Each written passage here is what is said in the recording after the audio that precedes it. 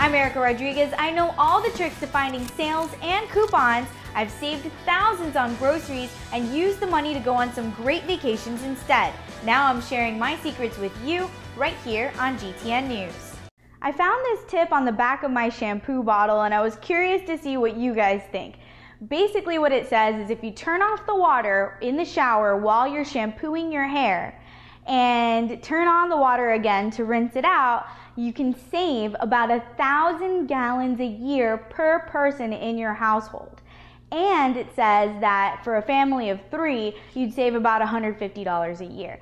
$50 per person doesn't sound like a lot per year. For some of us, it is. But the thousand gallons of water really hit home for me because I was thinking, man, we really need to conserve some water. And if it's just that one extra step that it takes to save that much water, maybe it's worth it. I've tried it, it's a little weird, but it's not much of an inconvenience. I want to know what you think. Send me an email at erica at superstealsblog.com or post your thoughts on facebook.com slash supersteals. I'd love to hear what you think about turning off the water while you shampoo in an effort to save some money and conserve water. For more information on how to save money on groceries and other aspects of life, check out my blog at supersteals.com. I'm Erica Rodriguez. Thanks for watching.